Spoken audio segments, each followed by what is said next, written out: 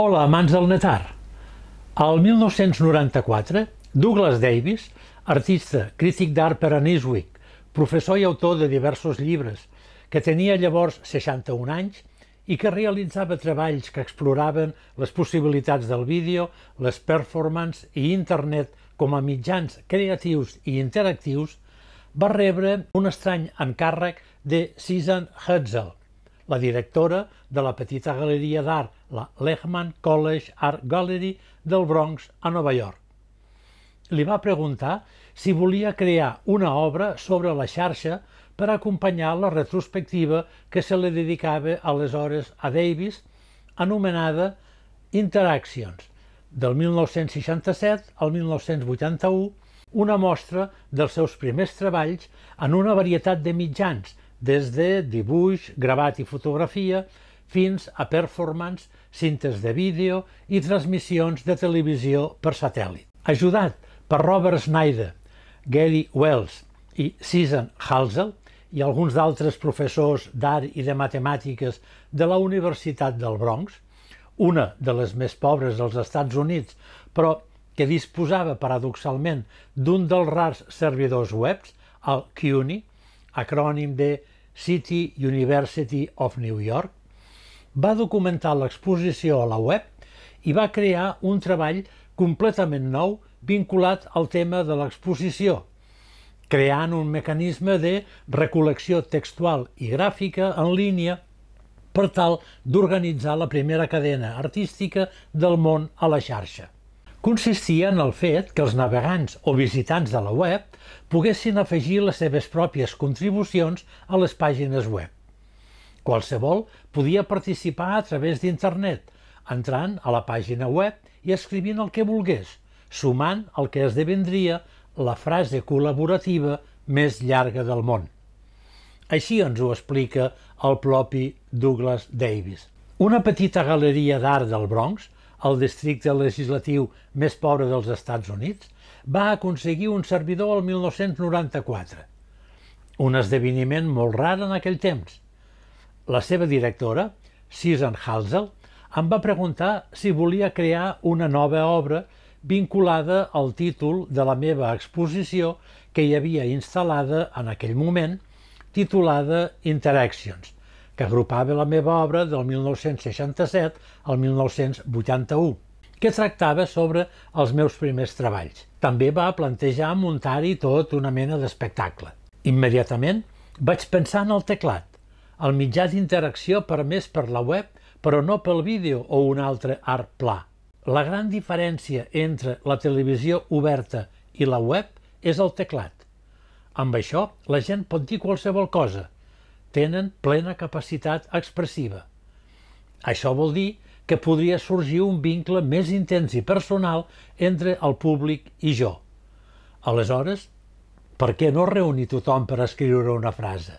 Quan vam començar a planificar-ho, els meus col·legues, Robert Snyder i Gary Wells, van confirmar que podíem idear un programa que evitaria escriure un punt final. Això significa que en el moment en què abordes la sentència entens que ets part d'una declaració contínua que mai no s'acabarà. Cada dia, cada mes, cada any, la sentència canvia. Les contribucions ara són molt més sofisticades gràficament que abans. La sentència és de color rosa fort ara, eh, permet Java, vídeo, àudio, color, és a dir, tot. Al principi era blanc i negre, però ric en ànima i personalitat. Tota la passió original segueix aquí, però està tan ben dissenyada que et perds allò que el món realment diu. El que importa de la sentència és, sobretot, el contingut. Aquest lloc web, titulat The First Collaborative Sentence, la primera frase col·laborativa internacional, es va fer molt de pressa. Només va necessitar uns mesos de programació. En col·laboració amb Gary Wells, Davis va dissenyar l'estructura interactiva formal de Sentence. El 7 de desembre del 1994, les primeres paraules van ser enviades al lloc web. Paraules que van resultar ser d'un intercanvi, una conversa bilingüe a propòsit de la naturalesa de l'amor entre Davis i l'artista russa Natalie Novarina, instal·lada a la Galeria Saint-Gervais de Ginebra, durant una performance per telèfon des de Ginebra titulada Discurs amorós. Des dels seus inicis, Sentence ha rebut un torrent de paraules, sons i imatges i els contribuents s'assabenten del lloc pel boca a boca, referències basades a la web o l'atenció de la premsa. L'atractiu de la Sentence és que dona al món un espai on expressar la seva ment col·lectiva i individual. La Sentence, en la seva versió actual, bé podria durar per sempre o almenys fins que una força superior o les limitacions de la tecnologia web li posin fi. A mesura que les habilitats de l'usuari han augmentat, Sentence ha crescut fins a incorporar-hi molt més que paraules. A més dels textos, ara hi ha fotografies, vídeos, sons, gràfics i enllaços a milers d'altres llocs web aportats per persones de totes les edats i cultures. Entre les contribucions hi ha reflexions, diatribes, poemes lírics, tractats polítics i espirituals, fragments de pensament i especulacions filosòfiques, així com vulgaritats ocasionals aborden preocupacions com l'art, la literatura, la sexualitat, la religió, la naturalesa del joc, el significat mateix de la frase i temes més amplis com la vida i la mort.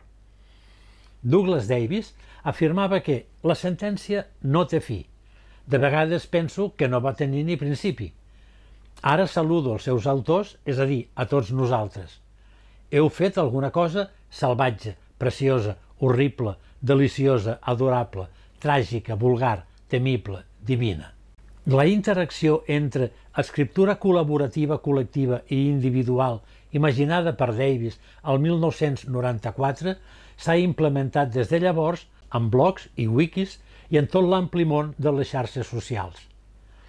Sentence és la primera obra d'art concebuda per a la World Wide Web i probablement també la primera obra de NetArt comprada per un col·leccionista, ja que pel gener del 1995 el col·leccionista d'art contemporani novaiorquès Eugene Schwartz va mostrar el seu interès per l'obra i va comprar tant el concepte com el lloc web en si.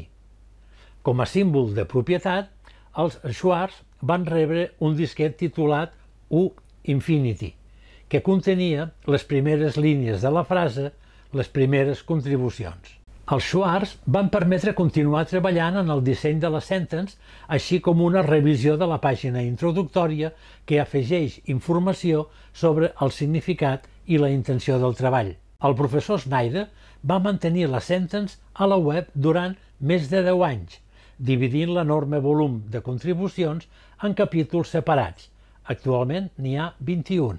A la mort d'Eugene, la seva dona Bàrbara va donar l'obra al Whitney Museum, de Nova York, que la va continuar deixant-la accessible en línia. Davis va commemorar l'adquisició de Sentence per part del Whitney dissenyant amb Vincent Spina un logotip WM Music que significa Rap Music, una sèrie d'arxius d'àudio que inclouen la creació de cançons conceptuals i sons històrics enviats a Sentence en els seus primers dies. El treball es va exhibir com a part de la primera Bienal de Guangzhou el 1995 en un pavelló de nous mitjans dedicat a Pike, on diversos visitants van contribuir amb textos utilitzant un conjunt de caràcters coreans. Per a molts d'ells, aquesta hauria estat la seva primera experiència a la web, la seva primera oportunitat d'escriure una cosa que potencialment podria ser llegida per una audiència a qualsevol lloc del món.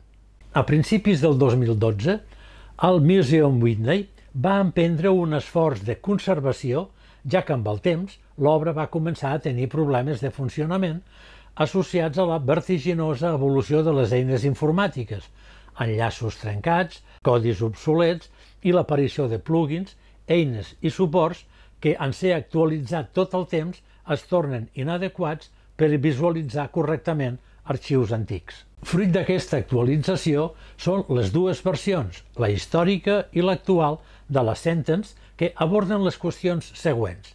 Primer, en el procés de migració del treball entre servidors, es van ometre fitxers crucials, l'escript CGI, que alimenten el formulari d'enviament.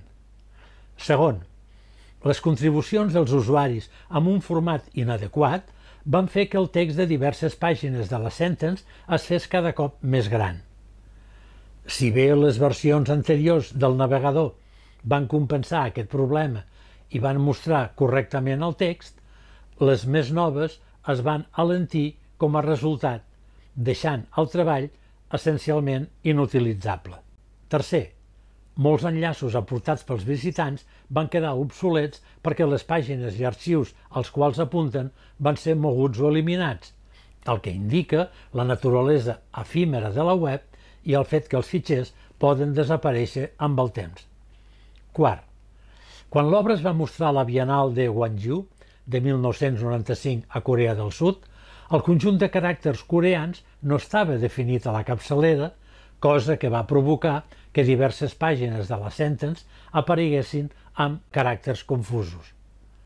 Però els usuaris ja no poden interactuar amb la versió històrica feta amb HTML i CGI Script i que va deixar de funcionar el 2005. Només amb la renovada, feta amb HTML i PHP Script. Segons Davis, la xarxa no ha de ser percebuda com un mass media. Ningú entra a la xarxa per continuar sent passiu.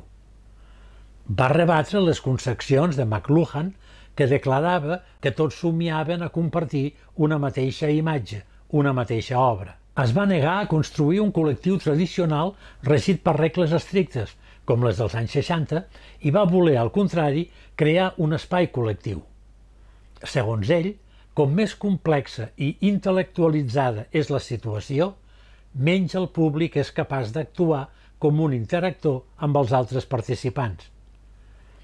La creació d'una frase amb restriccions limitades, espai anònim, infinit i sense temàtica imposada, li va semblar ser la panacea per deixar que la gent s'expressés lliurement i per fer-los comprendre que participaven activament en una aventura en perpètua evolució.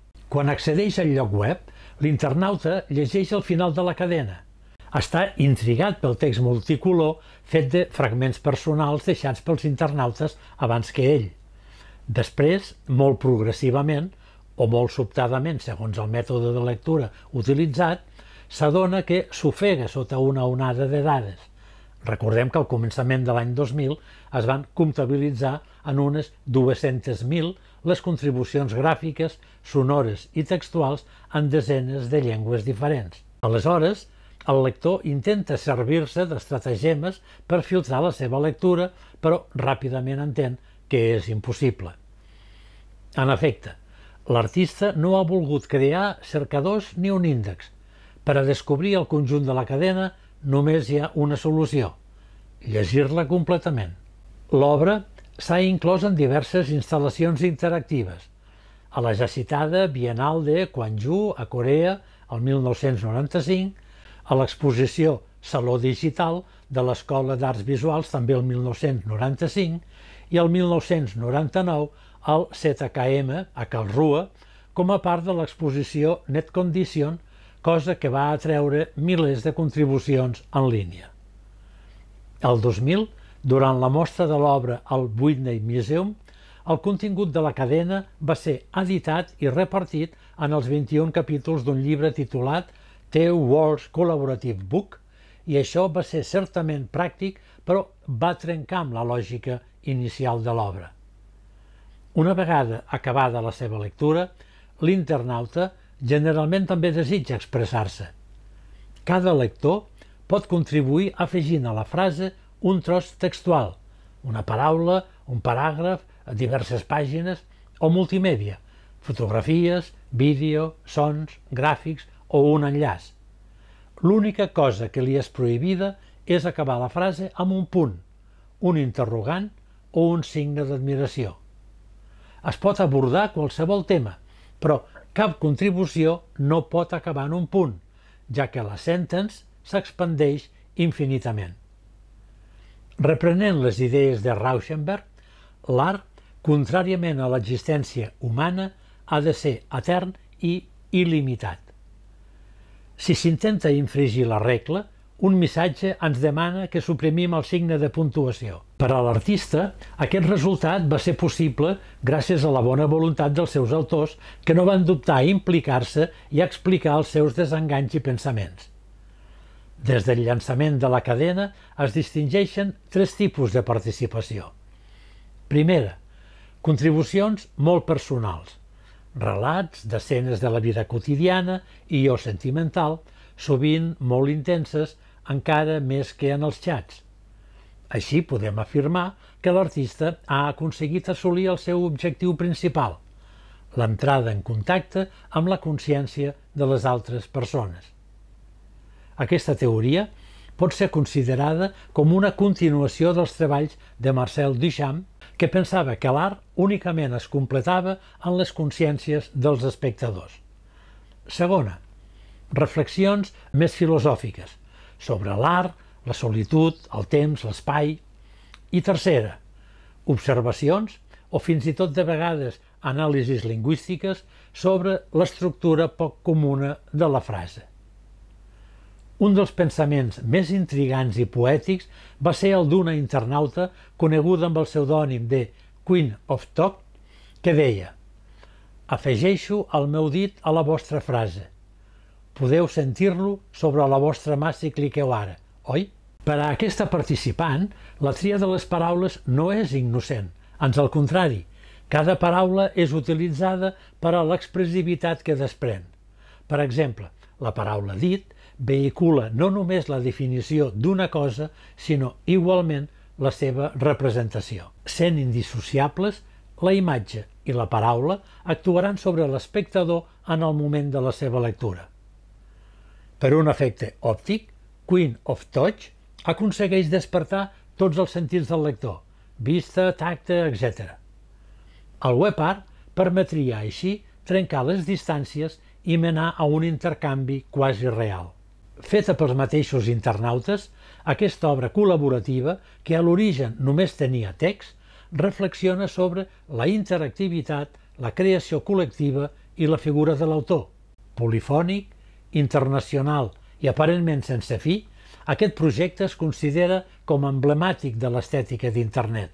La primera frase col·laborativa del món és un clàssic ja de l'ara Internet. Amb la seva naturalesa col·laborativa, polivocal, multilingüe i il·limitada, Sentence esdevingué un microcosmos de la pròpia web. Com un entorn multiusuari, decididament de baixa tecnologia que permet combinacions de components textuals, visuals i auditius, és un espai col·lectiu que en la seva àmplia gamma de veus i temes aconsegueix transicions fluides entre el que és prosaic i el que és sublim.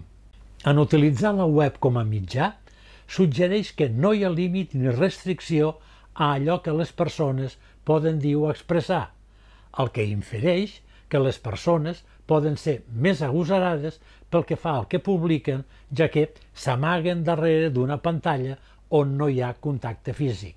Quan podem veure l'expressió facial i les emocions de l'altra part, és més difícil dir les coses directament en comparació amb una forma indirecta en línia on no ens enfrontem físicament.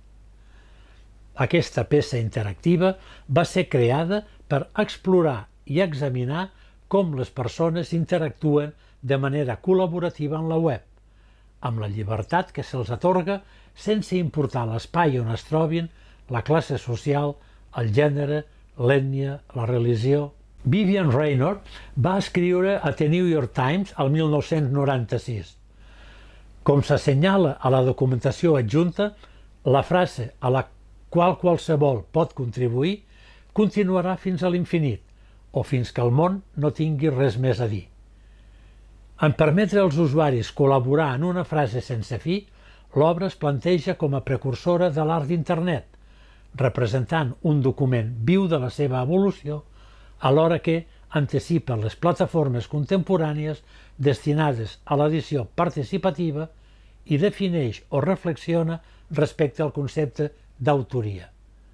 Qui és realment l'autor d'aquesta obra? quan i on existeix l'obra. Té sentit mirar el resultat a la web?